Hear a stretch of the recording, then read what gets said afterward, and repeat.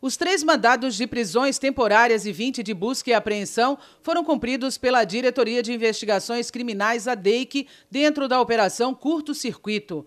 A polícia está investigando o desvio de dinheiro de uma empresa que tem convênios de prestação de serviços com a Celesc. Foram presos temporariamente um ex-funcionário da estatal em Florianópolis, uma mulher em Curitiba e o irmão dela em Balneário Camboriú.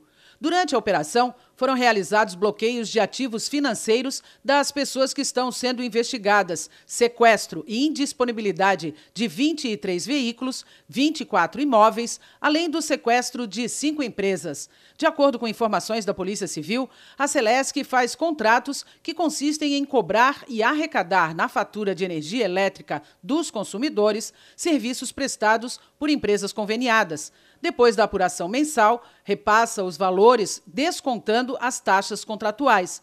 As investigações mostram que os valores reais eram alterados manualmente para valores maiores pelo funcionário responsável pelo controle de pagamento dos convênios, que depois repassava para uma empresa investigada.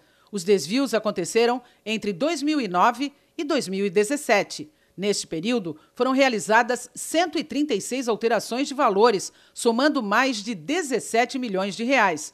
A polícia investigou crimes de peculato eletrônico, lavagem de dinheiro e associação criminosa. Os agentes ainda identificaram o destino do dinheiro desviado e o patrimônio dos investigados.